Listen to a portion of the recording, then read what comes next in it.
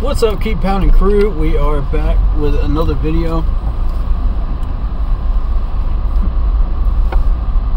Today's topic is day four of training camp. Back together Saturday. If you like the videos, if you like the channel, if you like the content here, and if you like the streams, hit that like button, hit that sub button, hit that bell. Select Take the next right onto East below. Pearl Street. And also be sure to check out the Facebook group page. Keep pounding in all caps for in-game posts, polls, opinions, and reactions to NFL news, as well as scheduling for uh, the channel. In 300 feet, turn right onto North Church Street. So let's get into Take this. the next right Uh, onto North Church Street, then use the right two lanes to turn slightly right onto US 221 North. Today was a very interesting day uh, for a number of reasons. And I mean, I guess we just start with uh, the quarterbacks and stuff. And yes, I do have blue teeth because I've been eating uh, the shaved ice. but ignore that. Um, please excuse that. But uh, let's start with the quarterbacks. Uh, Sam Sam Darnold looked a bit shaky today. I don't know about y'all, but I saw a little bit of shakiness, a little bit of indecision from Sam today. Uh, from the start, but he started to recover once he got further and further into the seven on sevens. In contrast, Baker did the opposite, and that concerns me a little bit because. Uh, Use the right two lanes to turn slightly right onto US 221 North, North Church Street. I was watching the C3 podcast and Continue I on US in on 221. North for half a and mile. they were talking about how he had the indecision with the football. Um, he held on to it too long. The internal clock uh, discussion, and um, just basically checked it down when there were open receivers. In a quarter mile, slight today. right onto US 221 North. and I was a little surprised. But at the same time, not, you know? Because I do trust that a lot of the podcasters are getting Slight right onto US 221 North, then turn left onto the these I-585 North ramp. For a number of years, especially the Cleveland fans, you know, that are doing podcasts and stuff. So I trusted that info. And I did indeed see what they saw. So I'm not sure what that's Turn left onto the I-585 North ramp, then merge onto I-585 North. That's going to affect us down the road if we decide to put Sam Darnold as a starter. That could lead to good or bad things, depending. Uh, if our wide receivers can get open enough, then I don't see. Continue on I-585 North for 4 miles. you know, out of the gate. But it will become a problem once you get into the tougher games. Now, if the wide receivers are not open, then I don't see a problem at all. You know, because that's on the wide receivers to get open and be ready to go. You know, to catch some of these balls. Um, and speaking of the wide receivers today, you saw a little bit of uh, everything, really. You saw Zylstra get a, a catch or two. You saw Shi Smith get involved. You saw um, Terrence Marshall Jr. with a great play. And one of the big things that I was looking for was yards after the catch. Mind you, they're not wearing pads, but I wanted to see how far they were willing to make these like shake and bake moves, you know, after they catch the ball to get a couple of extra yards. And I saw exactly what I wanted to see. It made me happy. Um, there's a few names that I could point out. I will do so on the stream. That will be coming at around 3 this afternoon. But uh, so far, so good. You know, as far as yards after the catch and, and being smooth about that stuff, man. That's what you need to see. Um, moving on to the tight ends. I saw Tommy Tremble drop a couple of them, which, I mean, that's that's a little bit of a concern. I'm gonna be real with you, because he never really had that issue to begin with up until this point. Um, again, it is training camp. Maybe I'm making a mountain out of a molehill here, but it concerned me a little, to be real with you. Um, in contrast, you saw Ian Thomas catch a few balls and, and really redeem himself today compared to day one when I was out there before, which made me very, very happy. Um, yeah, the tight ends were very, very involved today. Richie got involved as well, and um, I saw a very good block by the running backs. Moving on to the running backs on a particular run play, and in particular, 41 was the one that stood out to me, and I was like, huh because that's one of the names I was kind of looking at on their running back roster that I really didn't pay much attention to and didn't know much about. So, um, the, the fact that he and Rashawn Henry In half a mile, turn up. left onto the I 85 South ramp to Greenville. that was very impressive. So, that being the case, I was really happy with the uh, the running backs today. The offensive line looks solid um, for the most part, up until they started doing like heavy blitzing. Once you saw heavy blitzing, that's when the quarterback started to uh, look shaky. When I say look shaky, I mean a lot of overthrows, a lot of checkdowns, a lot of uh, this or that shake and bake moves that they really didn't need to do, you know, because they had people open. And that's not a slight against the pass rushing because the pass rushing was very impressive today. I was very happy with the pass rushing. Um, in particular, one of the uh, one of the newer guys that I Turn left onto the I as 85 South ramp. With. And again, I'll mention that name during the stream. At three, Continue on I 85 South What? for 20 miles. you know, I, I was fairly happy with the secondary today.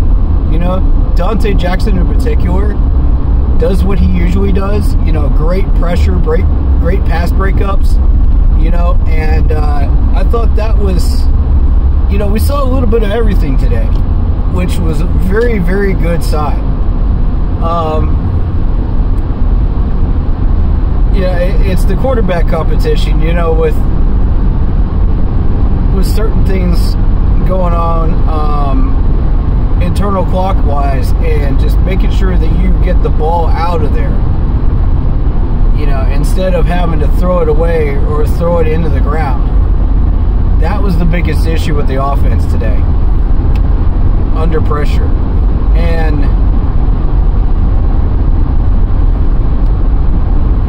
you know, credit to uh, Baker had a pretty good series at one point, and um,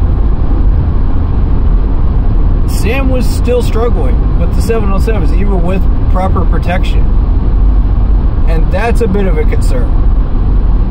Because if you see like proper protection and the quarterback is not getting that ball to the right place, mm, that's that's something we got to be concerned about. So in a way, I think the person that won today in that that two man battle was actually Baker. Um, as far as like finding his targets, but as far as like hitting his targets and um, under pressure, that would be Sam. Because once Sam settled in, it was like zip, zip, zip, zip. He had confidence throwing that ball to where he needed to put it. Now, depending on where he put it, that's the dangerous part. Because you got you got one-on-ones versus Donte Jackson. You got one-on-ones versus uh, some of these uh, people like Xavier Woods. You know, and you got to place that ball perfectly. Otherwise, these guys ain't gonna catch it. It's gonna get knocked down. And another issue I've got is the fact that when you look at PJ, he didn't even get the ball over the line half the time. Now, I will give him credit. He did redeem himself with that touchdown. But, you know, the ones that didn't get across the offensive line, that's scary because every one of those got tipped away by a defensive lineman. And I was warning them about that last year in training camp. Y'all remember this?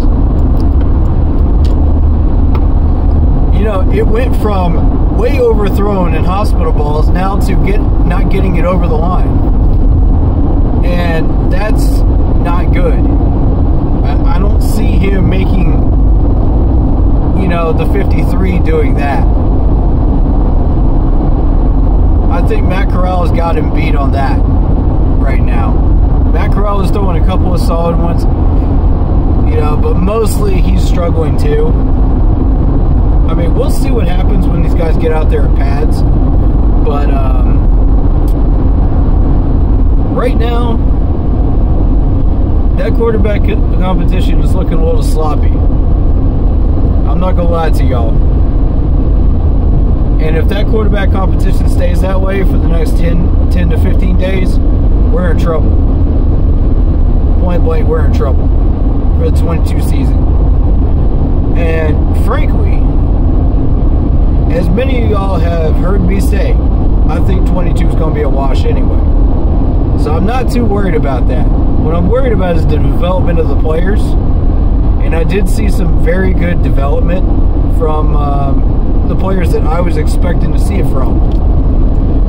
Uh, such as uh, Terrence Marshall Jr., um, you know, pushing his limits. I was expecting to see that recovery from Ian Thomas. I saw that today. Good job, Ian. Proud of you. Um, you know, Brian Burns putting up that that speed on that pass rush. Let's go, my dude. You know, I, saw a lot of good things today, man. So I'm very happy with it. Um, in a lot of those positions. I think the strength of our O line right now is going to be run blocking because I saw some really, really good run blocks. Real good run blocks. And I think we should get uh, number 41 involved a little bit, that, that running back, for uh, pass blocking as well for certain situations. And the reason I say that is he was able to uh, quickly get his feet, feet and hands in the right spot and managed to, for the most part, shut down the defensive end. You know, a starting defensive end. It might have been a second stringer. I'm not entirely sure who it was. You know, if I had video, I'd be able to find out, you know, running the tape back. But I was very, very impressed with that. You know, that made me happy. Um, so I'd like to see that happen. This this team's looking okay, you know, defensively. I think, like I pointed out in the C3 podcast last night, um, this secondary looks real good. Real good. Um, and shout out to Unk, the uh, YouTuber, that said that he thinks that they're going to get 20 interceptions this year. What it looked like with that pass deflection today, I was very impressed with that. You know, I think we're going to get a lot of pass deflections. I don't know about interceptions, but now, now I'm starting to lean towards pass deflections rather than interceptions, which you know kind of goes against what the coaches are looking for this year is turnover, created turnovers. So we'll find out how that shapes out. You know, but right now the push is on creating turnovers. Um, another thing you're going to notice today, if you were there today, is the footwork and technicality. Because Steve Wilks is very, very disciplined when it comes to that stuff. And he will get the most out of these players on defense doing that. Um, the biggest concern is uh, coverage wise when it came to Steve Wilks' defense, though. So that's what I'm looking for the linebackers to kind of step up there, and let's see what happens. You know, that's the next step. Um, as far as the wide receivers, let's uh, let's keep that that momentum going. Uh, pass rushers, keep the momentum going. You know, um, instead of just making one play on defense, let's make two. You know, if you're Xavier Woods, you know, you know, keep pushing those boundaries, and I love to see it. You know, these are great things. Never be satisfied if you're a player. Never be satisfied with what you just did. There's another day to push yourself even further as you go along. You know, there's always another day. As long as you are on that roster and you got a chance of making that roster, there's another chance to, to push that boundary and, and have another great day. You know, and keep that momentum going. Get those positive uh, traits going. Keep that momentum going in any way possible. Create good habits. And I think these guys are starting to do that. Um, I've been to two of the four training camp days so far, and I've seen that so far. In those three days, you know, I've seen the development go towards that direction, and I'm very pleased with that. Um,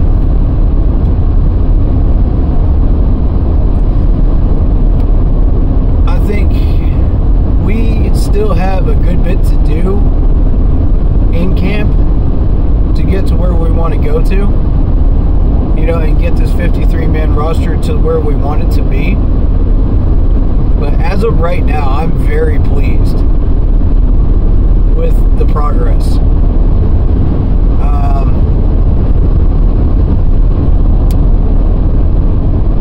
and for those that were struggling today, you know, the, the players that I pointed out that were struggling today, there's always another day of training camp, you know, to redeem yourself, to get out there and, and and push those boundaries and start setting good good examples for the rookies. And if you're a rookie, just start setting better habits, you know, and, and, getting out there and learning from the bigger guys, you know. Give them a phone call. Give go out to lunch with these guys, you know, even on your day off.